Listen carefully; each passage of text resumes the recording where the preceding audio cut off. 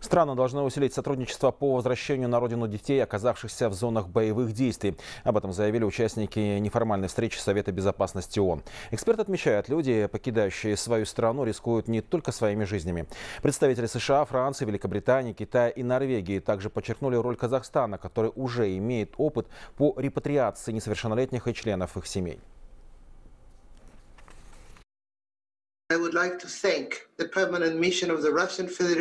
Мы не можем оставаться равнодушными к судьбе детей, находящихся в районах вооруженных конфликтов. Дети в таких регионах потеряли и детство, и будущее. Наша цель – избежать подобных трудностей. Мы также благодарим постоянное представительство Казахстана при ООН и российских партнеров за организацию сегодняшней встречи.